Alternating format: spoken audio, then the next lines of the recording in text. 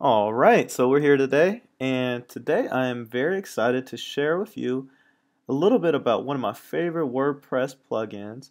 Um, and this is a pretty widely known program, but it's WordPress SEO, and it does uh, many things for your website, but essentially uh, it makes it so that a search engines such as Google, Bing, and the likes are able to find your website and they appear uh, closer, or I'm sorry, uh, higher up on page ranking. So let's go through and I'm sure most of you have uh, installed a plugin before but I'll walk you through. So we're at the dashboard now and we're just gonna go to this plugin install plugins uh, and I already have it installed within my website. You'll see it actually pops up right here.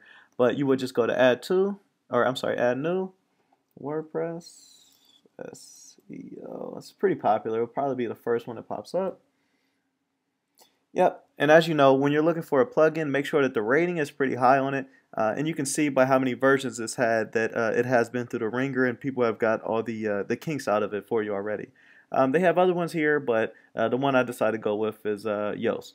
So you would just uh, select this guy. It already says installed here, but you would just hit, hit install now, and it would it would come into your installed plugins and mine is right here. And uh, yours would be uh, yours would have the option to activate it. You would just hit activate and uh, you would refresh the page. And I'm using a MacBook so it's command R. Uh, so I would just go ahead and refresh it.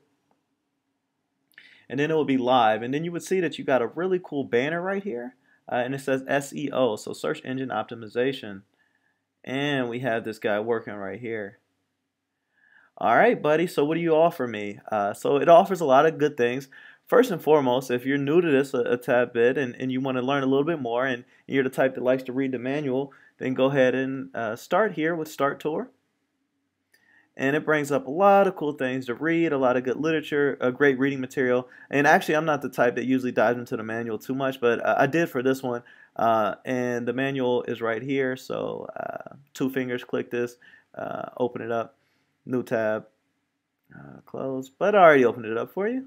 So we have it right here. Great material, even if you want to learn a little bit about SEO um, and what uh, Google, Bing, uh, Yahoo are searching for when they are scouring your website with those little robots. Uh, this is a great read for you. But we'll go back here and I'll walk you through a couple things. Uh, and this will kind of uh, this will kind of veer us off onto a different track for a little bit. But this is Webmaster Tools. So if you want to be able to link uh, one of your webmaster tools, and, and basically what that does is it gives you some of your site data and you'll be able to see how you are performing on these different websites. You do that uh, right here. Uh, and mine is already verified through Google Webmaster Tools.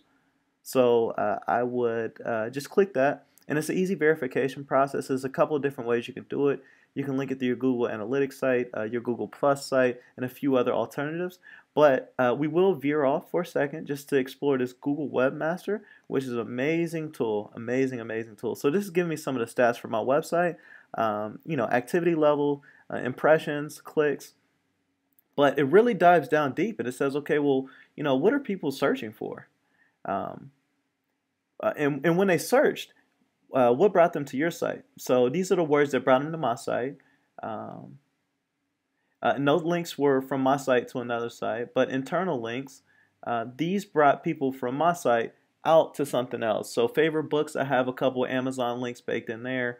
Uh, creative audio, I have it uh, linked to a SoundCloud page. Uh, experience versus memory, that is a blog post that I wrote.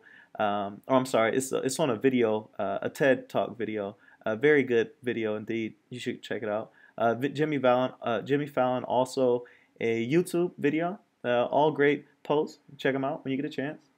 Uh, so that's some of the things that you can do. So you know, index status. You can really think about okay, how many of your uh, words or searches are being indexed?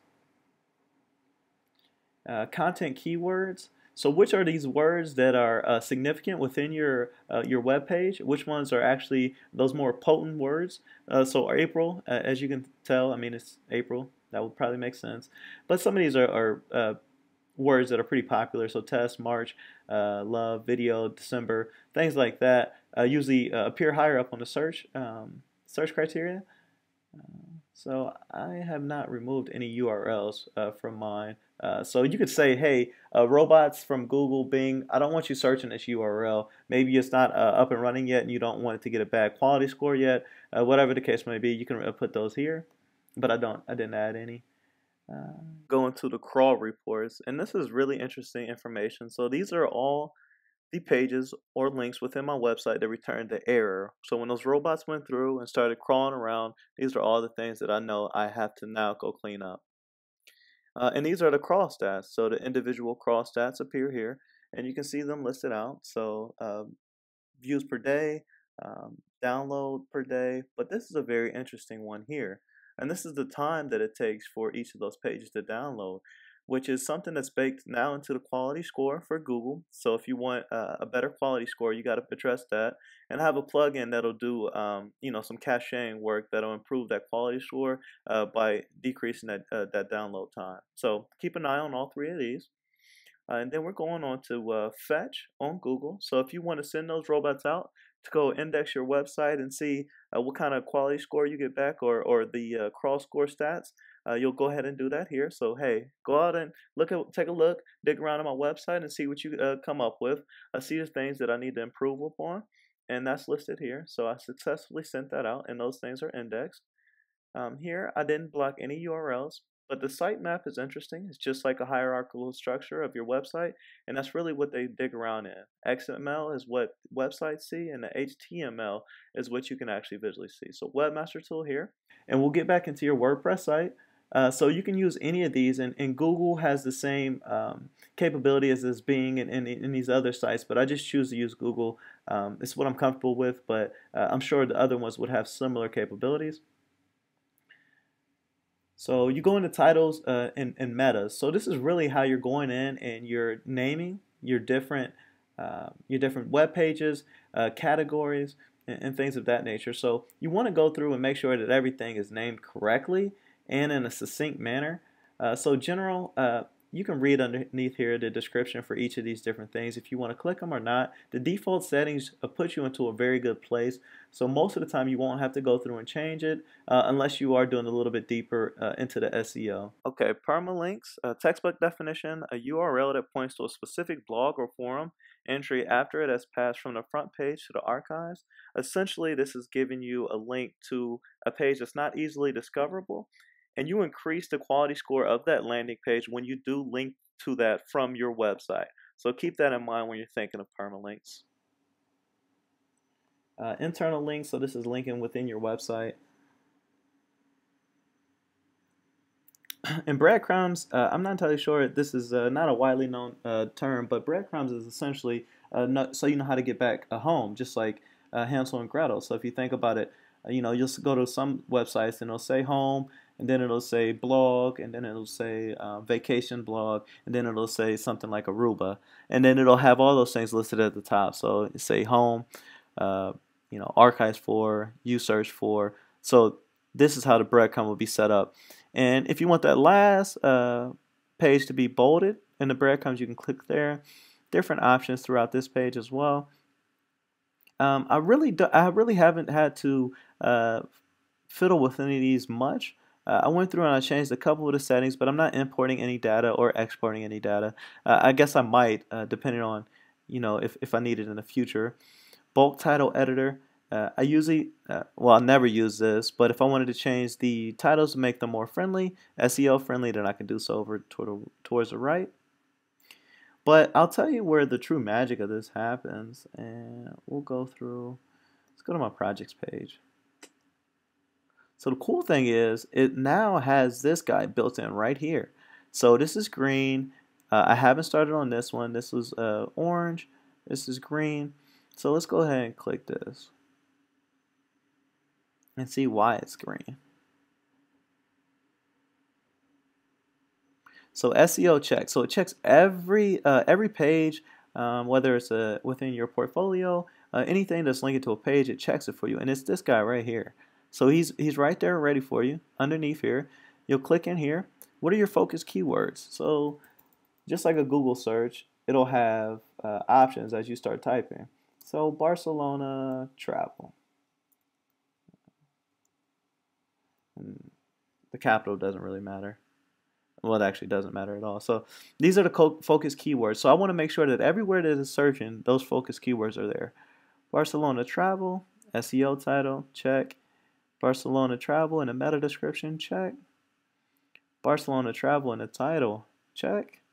And the permalink, check.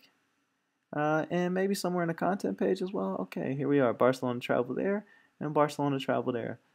Um, hence, it shows up twice in the content page. Everything is green here. That means you're good to go. And this guy is green as well. So I just update that.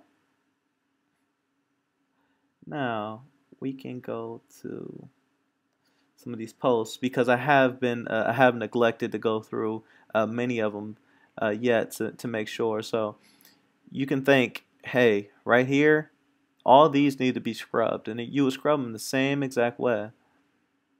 So we just go in here, go to edit. Those will actually help with some of the crawl errors that we saw before. Uh, so everything is pretty much interconnected as you can see. But right now we're really trying to select what keyword we want to use for the title. So it's the same tool that you would use for say a keyword planner in AdWords.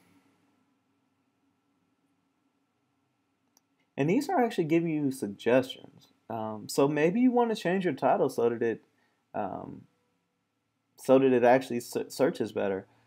That's you know so, that's one option you can do, or you can you can keep it together. Um, so I'm going to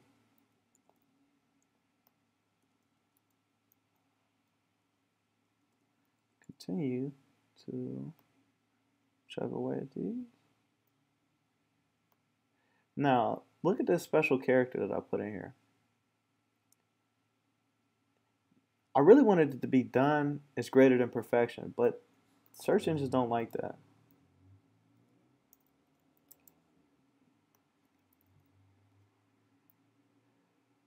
Let's let's try this. Done is better than perfect. Mm, done.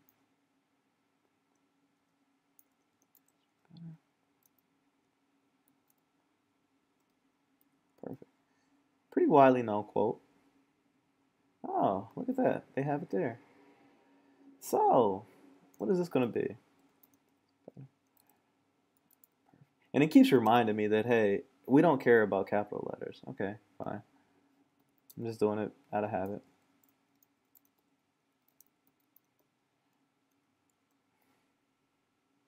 Uh, and then let's go ahead and edit this guy right here. Done. It is better.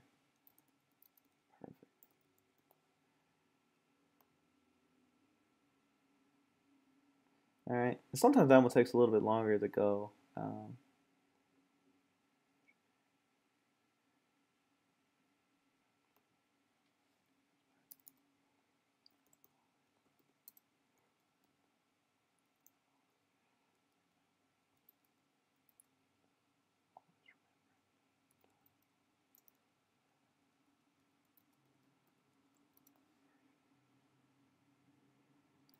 Uh, so that takes a little bit longer. So what we do is we update it. Yeah, let's see if we can get you to change colors just a tad bit.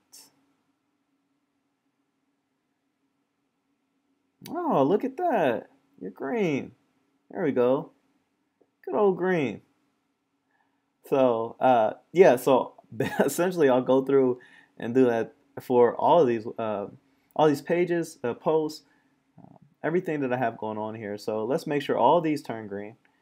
And uh, matching that with the webmaster tool and give you some of the search queries. Remember thinking about the things that are not going good with your site. This will really help you. So uh, these will be at the end of any post. Also, feel free to uh, visit their website. They'll give you great information. Uh, and thank you. One of my favorite plugins.